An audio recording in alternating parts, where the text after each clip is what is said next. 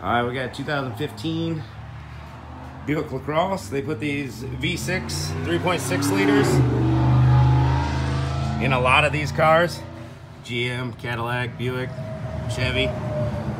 We got a code P0014.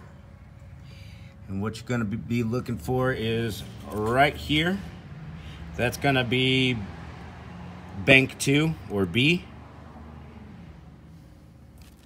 The solenoid for that right there. That's gonna be the intake one up top. Down below it, straight below it, you can see that wiring harness. That's gonna be your exhaust. And you come over to this side, and you can barely see underneath the intake here. You got two camshaft position sensors. And right, let me focus it for you.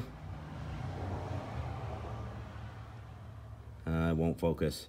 But right there, that little red dot, there's your other one. Exhaust is on the bottom. That's bank one or A. Top one's intake side, bottom one is exhaust side. So if you're looking to replace those, you can get those out. The exhaust one, you got to tilt at an angle towards the front of the engine, and you can get it out without those, those AC lines getting in the way. They just pull straight back. They come out pretty easily. 10 millimeter bolt, hold down just one.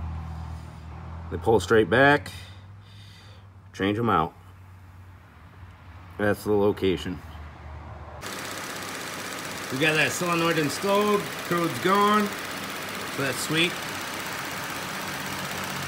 Cylinder identification is as follows. You got cylinder one, two, three, four, five, six.